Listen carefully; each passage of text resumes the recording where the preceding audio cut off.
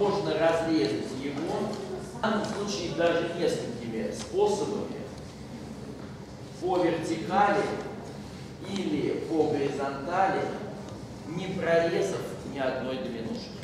В доминошке в случайном порядке. Доминошки в случайном порядке. да. На этой картинке даже 4 такие линии, повторяю задачу, квадрат размером 6 на 6, разрезан на доминошки. Докажите, что можно так сломать эту картинку, чтобы не повредилась при этом ни одна доминошка. Доминошка это две клеточки, то есть она размером 1 на 2. Но она лежит либо вертикально, либо горизонтально, пытаться исследовать все способы разрезания не стоит, потому что понятно, что их много. Должно быть какое-то такое общетеоретическое решение. Немножко перекрывает не более одной, одного направления нового.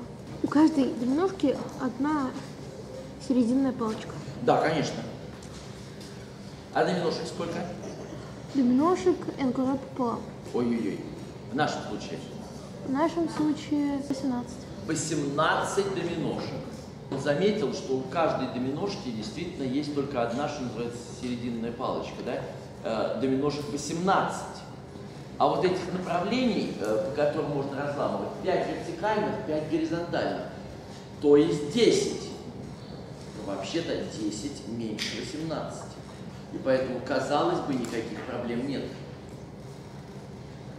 Александр Васильевич, надо это число разделить на 2. 18 надо разделить Почему? на... Ну, смотрите. Ну, вот, э, на примере лежащей доминошки. Да. Она лежит. Теперь, если там есть еще одна лежащая, то все хорошо. Мы называем эту строчку хорошей. Теперь, почему строчка э, не бывает плохой? Коль догадался, что на самом деле не бывает пересечения с э, только одной доминошкой. Если вы разрезали доминошку, то вы обязаны были разрезать еще какой-нибудь.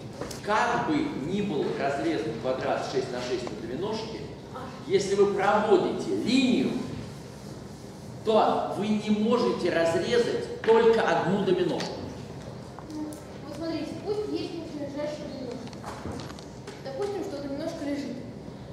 Мы ее Да. разрезали линией. Да. Да, эта линия, и остальные вот, Все остальные доминошки лежат либо слева, либо справа, да. лежат вот так.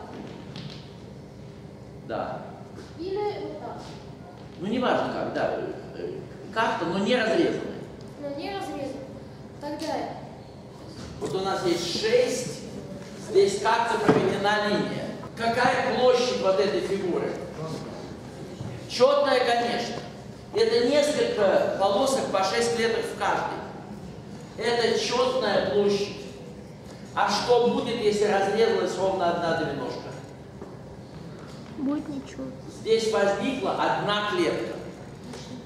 Ну а другие доминошки, они как-то лежат. Там по вертикали, по горизонтали. Это не, не имеет значения. Важно, что каждая из остальных доминошек дает четный вклад.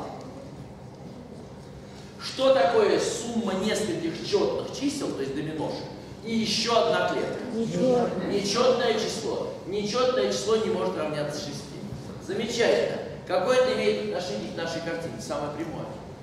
Если бы каждая из вертикалей, а их 5 штук, резала доминошки, то она каждый раз резала 2 или больше. Так что уже вертикали разрезали бы 10 штук. Если бы горизонтали каждая резала доминошки, то 5 горизонталей каждая бы тоже разрезала 2 или больше, еще 10 штук.